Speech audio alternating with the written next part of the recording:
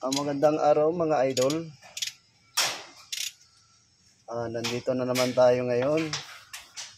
Nandito na naman tayo ngayon sa ating channel or page. Ah, ngayon, nag-uumpisa na kami magbaklas o overhaul 6M61.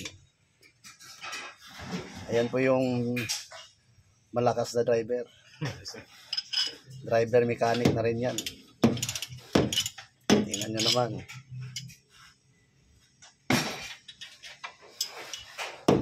Ah, kaya namin inano to mga idol, in-overhaul. May lagutok na sa makina, maingay na. Kaya kailangan na naming overhaulin. Ang siguro sa tingin ko ang pangunahing dahilan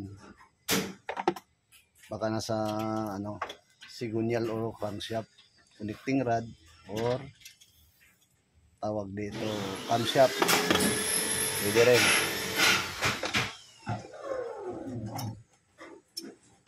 Medyo matagal-tagal na ano to trabaho. Masikip pa.